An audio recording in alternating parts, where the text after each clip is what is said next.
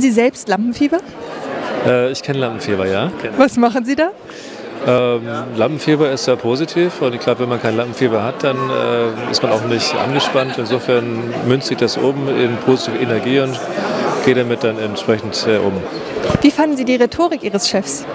Die Rhetorik meines Chefs. Auch mein Chef ist eigentlich immer ein sehr spontaner Mensch, äh, der sich gut ausdrücken kann. Und ähm, ja, auch auf so einem Panel, denke ich, hat er eine gute Figur gemacht. Woran erkennen Sie, dass jemand sehr souverän und professionell vorne vor seinem Publikum spricht? Wenn jemand sein Metier beherrscht, niemand weiß, äh, wovon er spricht, so wie der Hauptgeschäftsführer vom Bitkom gerade eben, ähm, dann braucht er keine Zettel, dann braucht er kein Podium, dann braucht er nichts, woran er sich festhalten muss, dann redet er frei von der Leber weg und kann sich auch bewegen. Und ähm, wenn er in seinem Thema so gut drin ist, dann nimmt er die Zuschauer und die Zuhörer sofort mit ohne dass die immer darauf achten, ob er nochmal nach, nachliest oder nicht. Dann ist meine Frage, wann hatten Sie das letzte Mal richtig Lampenfieber?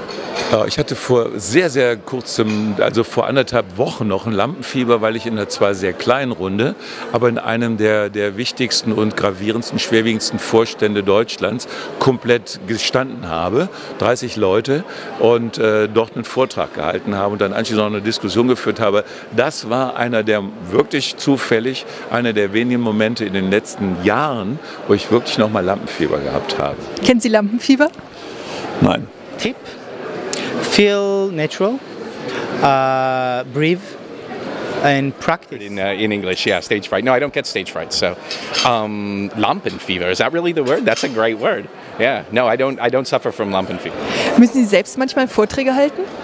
Äh, oh ja, äh, ich bin äh, Geschäftsführer einer Landesmedienanstalt und da ist es ein tägliches Geschäft. Also ich achte darauf, dass ich ähm, möglichst frei spreche, dass ich möglichst ähm, auch das, was ich vortrage, wirklich äh, eingesogen habe und auch nicht über Dinge spreche, die ich selber nicht ganz im Griff habe. Da neigt man ja ein bisschen dazu, gerade wenn man mit Folien arbeitet, dass man dann sehr gerne was da drauf schreibt, was man irgendwo aufgegabelt hat oder wo man denkt, dass das so Common Sense ist. Aber wichtig ist, glaube ich, wenn man vorträgt, dass man weiß, worüber man redet und dann auch, kann man auch gut frei sprechen. Was ist ein guter Interviewpartner für Sie? Was muss der machen? Ein guter Interviewpartner ist einer, der die Fragen zunächst mal beantwortet. Es gibt Leute, die Fragen nicht beantworten, der ähm, Zusammenhänge herstellt und auf Podien auch, der sich bezieht auf andere, dann damit ein Gespräch zustande kommt was manche tun und manche nicht. Dass sie kurze Sätze bilden, dass sie prägnant sind, dass sie auch mit dem Zuschauer interagieren, vor allem auch mit dem Plenumsteilnehmer interagieren, ähm, dass sie mitdenken. A presentation is like a show. Kennen Sie selbst Lampenfieber? Natürlich, das gehört dazu. Wenn man das nicht mehr hat, dann ist man selbst langweilig. Was ist Charisma für Sie? Ja, eben un ungewöhnliche Zusammenhänge herstellen, Autom Interesse wecken? Also ich würde zwei Tipps geben wollen. Erstens, man muss aufpassen, dass es nicht zu warm wird. Der eine hat sehr geschwitzt, also da muss man schon aufpassen, dass man sich entsprechend vorher abtupft. Tipp 1. Tipp 2, man soll sich nie am Standpult so festklammern, weil dann die Ärmel verziehen, die, Jack die Sakkos. Und das sieht schlecht aus nach außen hin. Und man muss darauf achten, wenn man eine Frau ist und zu klein ist, dass man ein kleines Podest hat, dass man höher kommt. Das war das eine. Was wollen Sie mehr wissen? Kennen Sie selbst Lampenfieber, wenn Sie vor Publikum stehen oder sitzen?